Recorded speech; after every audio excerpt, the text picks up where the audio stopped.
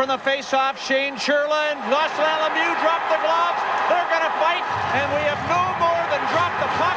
And seven seconds into this game, we have a fight going at center ice as Churla and Lemieux grasp one another and start throwing punches. And the linesman get it. Oh, and Churla uncorks another left hand and another left hand. And reaching over the linesman, trying to get at Jocelyn Lemieux. And again, a left hand punch from Shane Churla. And Churla, who came off two bouts the other night against the Toronto Maple Leafs, has gotten started very early this evening. And the Blackhawks very definitely anticipated this. They put a lineup out on the ice that included their heavyweight players.